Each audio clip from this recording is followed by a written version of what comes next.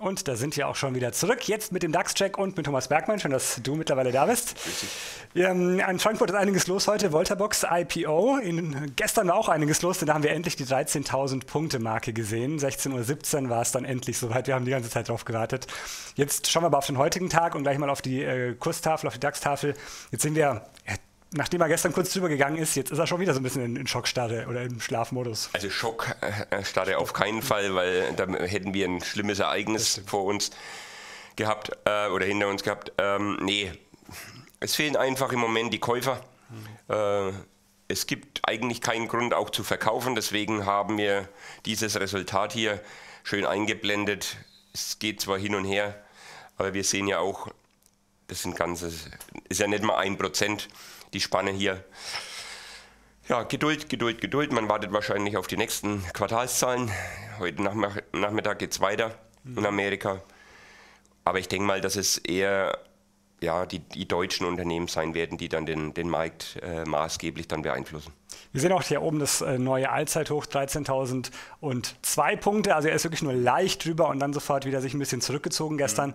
Und auch jetzt eben aktuell sind es 14 Punkte. Wie schon die letzten Tage das gleiche Szenario wie hier.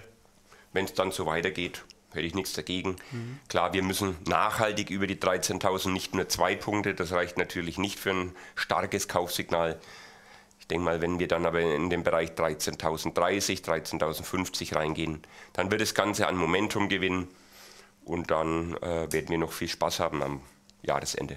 Schauen wir noch auf den Dreijahreschart. Eigentlich gibt es ja auch nicht viel Neues zu zeigen. Wir schauen gleich aufs Produkt, das ja weiterhin aktiv ist. Genau. Der Zuschauer dürfte es mitbekommen haben. Vielleicht haben wir jetzt den einen oder anderen Zuschauer mit von der IPO-Sendung dabei, der es vielleicht noch nicht kennt.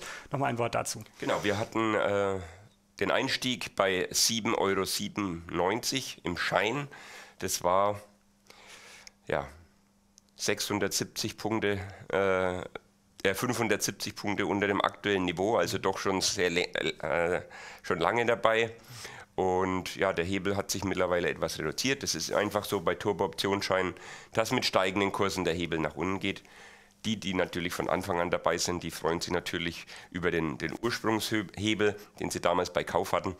Nee, äh, wir sind sehr zufrieden. Der Schein mehr als 70 Prozent im Plus. Wir haben den Stoppkurs mittlerweile nachgezogen auf 11,75 Euro, damit man also hier schon einen ordentlichen Gewinn mitnimmt, sollte es nochmal Rücksetzer geben.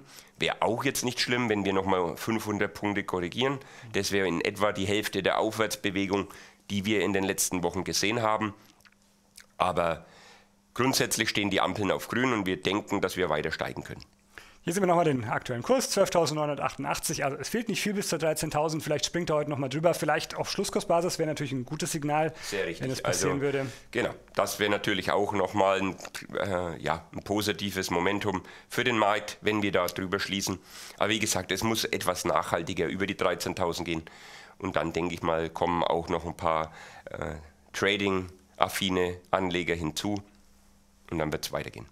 Okay, dann schauen wir am Montag wieder drauf. Besten Dank, Thomas, für heute. Danke auch Ihnen. Das war's. Schön, dass Sie dabei waren. Bis Montag. Auf Wiedersehen.